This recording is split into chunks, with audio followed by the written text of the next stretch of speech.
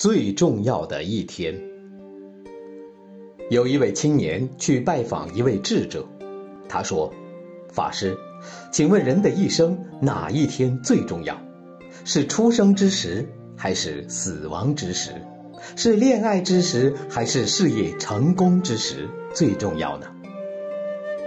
智者告诉他：“生命最重要的就是你的今天呐。”青年问：“为什么？”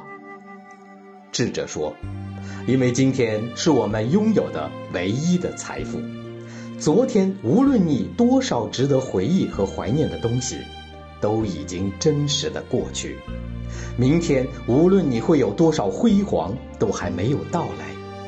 无论今天多么平常暗淡，都掌握在我们自己的手中，由我们自己支配着。”青年还想再问，智者说。在谈论今天的重要性，其实已经浪费了不少的今天。我们拥有的今天已经减少了许多。今天是我们唯一的资本，也是唯一的机会。